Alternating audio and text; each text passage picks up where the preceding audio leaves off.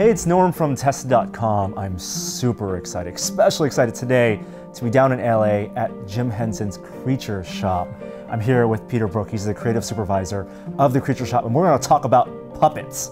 Let's uh, let's start at the beginning. How were puppets made decades ago, and, and, and animated? I mean, as you said, this is Jim Henson's Creature Shop, and of course, Jim back in the 50s was creating puppets out of fabric and foam and so on and so forth. And they were very basic in, in a way. They were hand puppets as opposed to marionettes. A marionette would be a string puppet, and up until that time, marionettes were often very popular. But the fundamental concept of using one's hand to open and close the puppet's mouth and, in a sense, give the whole puppet its motion, that still stands. You know, that's a, a tried and tested technique. And indeed, the exterior might be a bit more sophisticated than back in the day, but you know, essentially my hand is just operating the, um, the mouth and the orientation of the head. And mm-hmm. in this mm-hmm. case, because he's a small guy, um, you know, my whole arm is actually uh, contributing to the motion of the body. And then these hands, uh, very much like Jim used on Kermit, are just rodded hands, you know. Right. The real breakthrough was simply the fact that he saw the opportunity to use the television screen as, if you will, the, the, the proscenium um, like a uh, theater space. Yeah, like a like a like a theater. He used that to his advantage, and he realized that that whatever we see through the TV uh, through the TV screen suddenly becomes what the viewer sees. He kind of revolutionized the, the way that puppets were used within the television medium. And of course, everybody knows that Jim became one of the most successful puppeteers in history. Now, over the years, using the the fundamental concept of the hand operating the mouth. Um, we've, like I said before, we, have we've, we've actually um, made advancements in the exterior of the of the characters, and also in the mechanical devices and, and things within the, the puppet's head or within its hands or what have you, to make the character come to life. What, what you really want is a puppet to totally come alive and be its own character, its own personality. With a good puppeteer, you know, a puppet suddenly becomes another member of the cast, if you will. So it's different than just creating a scary monster that kind of goes ah, you know, for a couple of shots in a movie. It's a performance. It I mean, really, it really is. I mean, performance becomes the key element.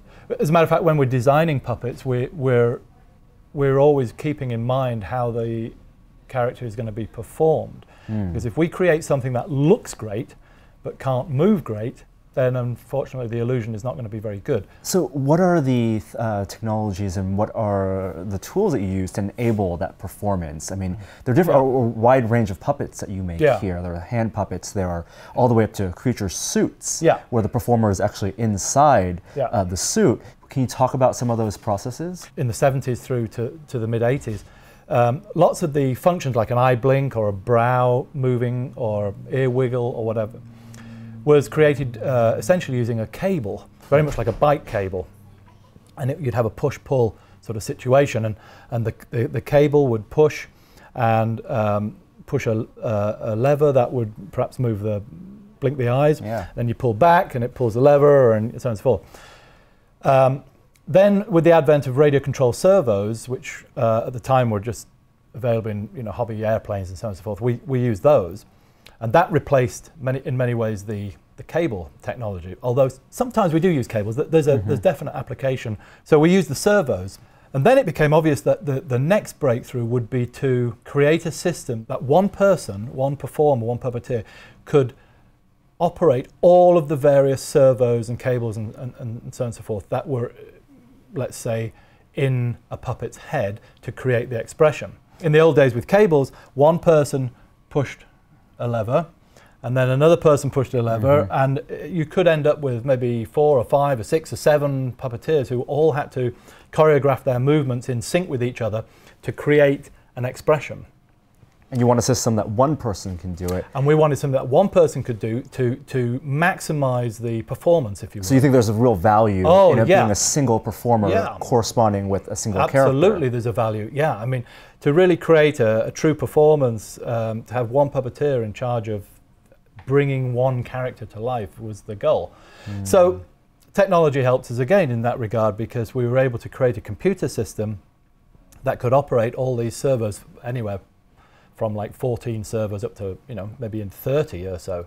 Is that the kind of system that was used in like the Ninja Turtles movie, for That's example? exactly. it, Ah. yeah, that was. In fact, we we were we were working on something prior to that, and there was um, um, actually Brian Henson did a, the Storyteller Dog, and that was a very early um, version of what we ended up calling the performance control system. And then for Teenage Mutant Ninja Turtles, it was further developed so that the turtles could talk, you know, and their lips could form the uh, shapes um, that were required for the illusion of speech. And again, you're, you're dealing with one a one-on-one. So one puppeteer um, was responsible for the the the faces of the uh, of the turtles in, in this instance, and, uh, and then there was an actor inside the suit who was doing the, the physical movements. Then from from that breakthrough, we started to explore the idea of bringing a digital character to life using a similar kind of philosophy, if you will.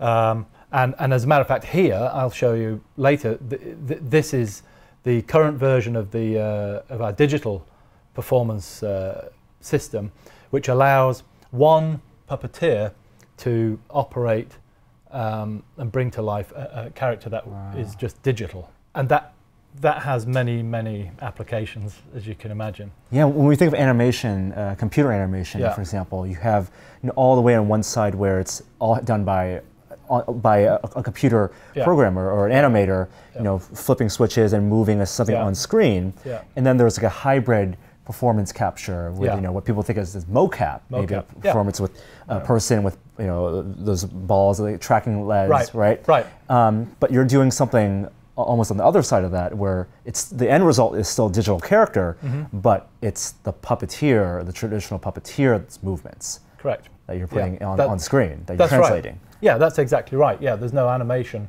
as such, Mm-hmm. uh, no traditional animation as such. The the the movements, um, as you quite rightly said, are, are a combination of mocap and and using our performance system here.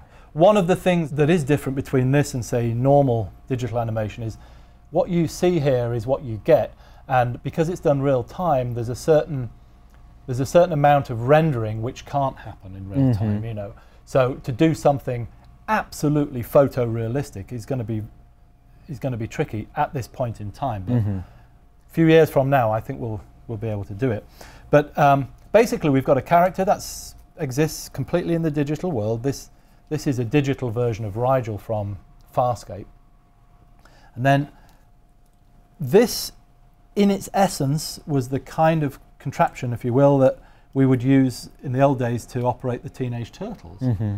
Um, so I could, um, you know, I could u- I could designate this motion, for example, to be an eye blink or a mouth movement. In this case, that movement there is top and bottom lip. You see. Yeah.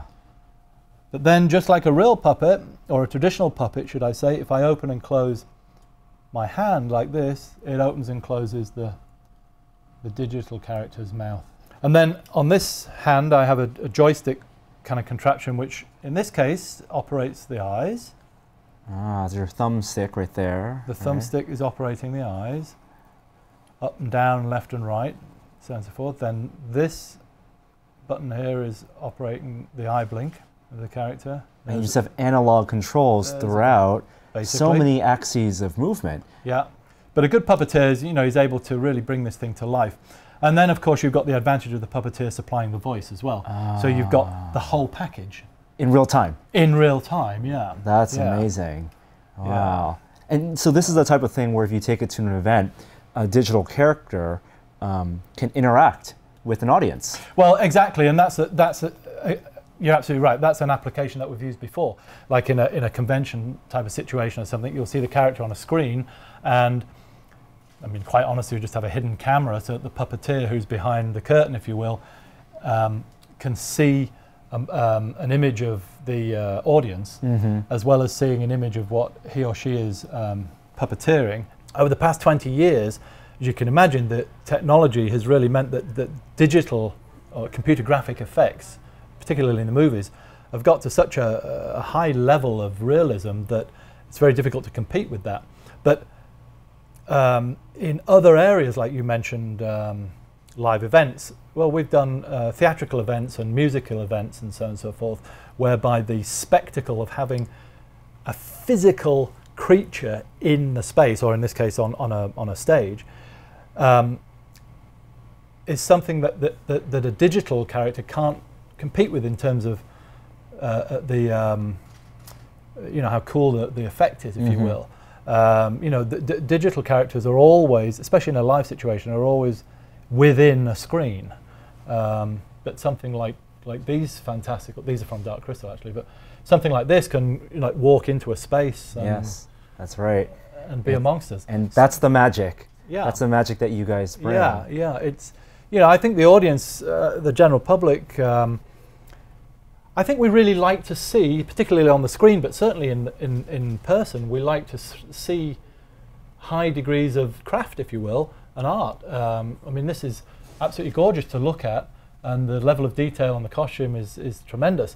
And, and we respond to that on a subconscious human level, you know. If it's digital, um, I think sometimes subconsciously we have a, hard time believing it's even there. Mm-hmm. You know. Mm-hmm. Now, looking at your shop, and you guys have a wonderful shop. You always have these huge projects. I mean, so much fabric and foam yeah. and materials. It really reminds me of you know a fabrication shop and a effects company. Sure. You know, which is which is kind of what we are. Yeah, right. Yeah. You're sculpting, yeah, whether it's foam or clay. You're mold making, and there's a machine shop, a beautiful machine shop, an animatronic shop with a lot of different technologies. I see, you know, RC hobbyists, controller yep. transmitters and controllers, yep. Yep. Um, and I'm sure you're experimenting with new materials all the mm-hmm. time. Mm-hmm. Uh, what are the things that you as a company and Jim Henson, the Creature Shop as a company, look to in terms of making puppets and, and helping bring performances to life? with technologies?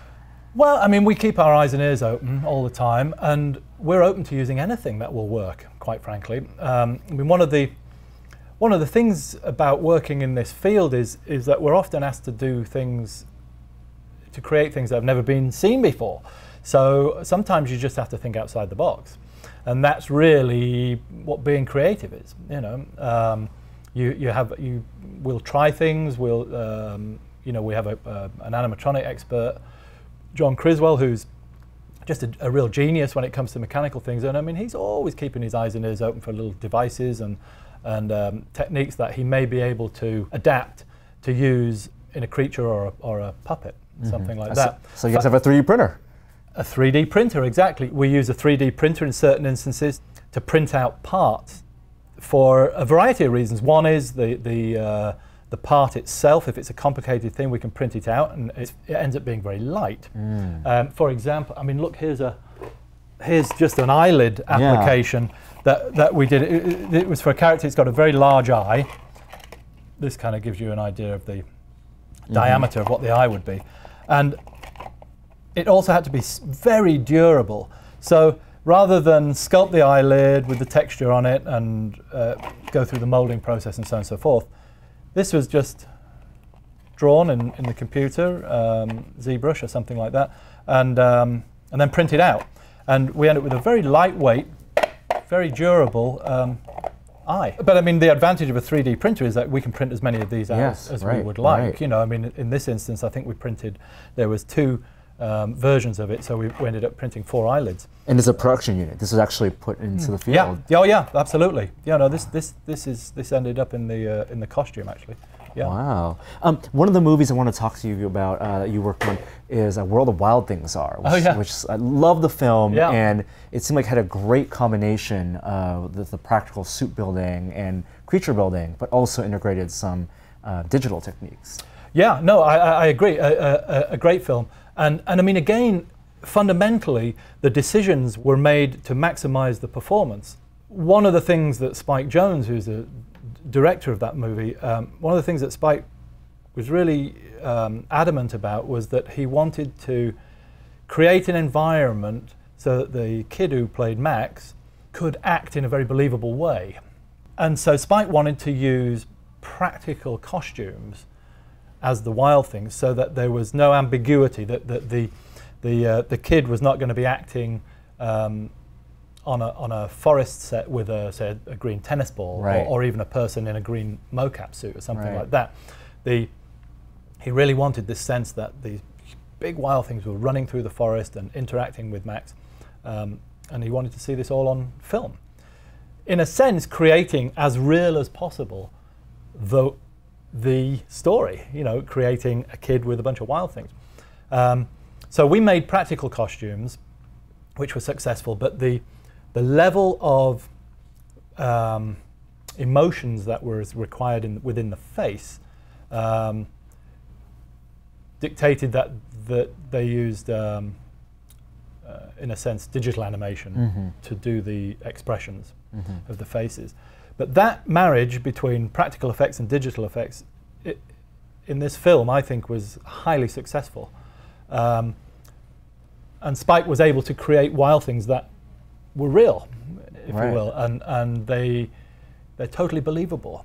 You know, you've got the, the, the, the literal, the, the literal physicality of the furry wild things, and then you've got the, the wonderful um, range of expressions, which, quite frankly, is only possible using a digital technology. Mm-hmm. 20 years ago, you know, there was a sense, uh, certainly in my mind, of like, wow, boy, what the heck am I going to be doing? Because uh, computer graphics are going to take over and just dominate the market to the point where none of this will be relevant. But actually, we found that, that this still remains relevant and, um, and people still want to see. Yeah, you puppets. started with dinosaurs, but still, Yeah. still not extinct and looking forward. That's great. Exactly. Thank you so much, Peter, Oh, for, for chatting with me about puppeteering, about puppet making, and about some of the things you guys are doing here Well- at the Creature Shop, Jim Henson's Creature Shop. Um, we'll have more stuff on the website, on tested.com. Subscribe to our YouTube channel. I'm Norm, and I'll see you next time. Thanks so much, Peter. Ah, you're welcome. Nice to meet you.